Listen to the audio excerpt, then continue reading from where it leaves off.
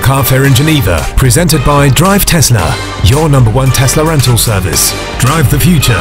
DriveTesla.ch. It is the world premiere of the brand new Toyota Auris here in Geneva, standing right here behind me. And take a look at this car, how its design is. So it's a little bit of a combination between the Opel Astra, to be honest, and a Toyota, but I'm in love with the design. Now let's get to the engines. While we're watching the walk around of brand new Auris Hybrid as you can see on the boot lid, it's the choice between only one classical petrol combustion engine with 1.2 litre of displacement if you don't want or if you don't need hybrid. If you choose to go for hybrid, what I definitely recommend you, then you have the choice between the 1.8 litre version with 122 horsepower, especially better for city driving, and the 2 litre 180 horsepower, or better to say PS version. That of course gives you more driving performance, especially if you'd like to use this car for travelling.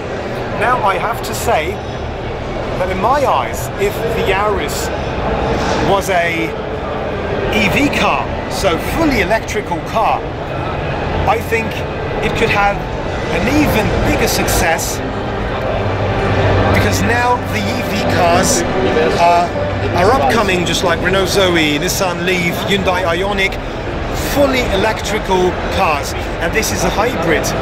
Mostly you can drive the half of 100 kilometers with the E-engine and then with combustion engine. So you can count about seven liters and half of that would be three and a half. So of course it's a lot more economical than a fully petrol version.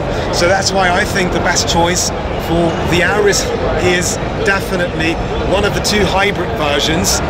And not really the 1.2 litre petrol version because somehow you'd like to have a little bit of performance and 180 horsepower combined with the E-engine, I think in the end it's going to have quite nice acceleration and of course that background with the efficiency, which is a lot better.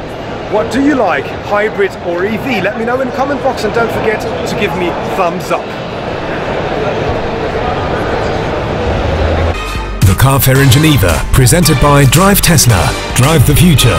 DriveTesla.ch.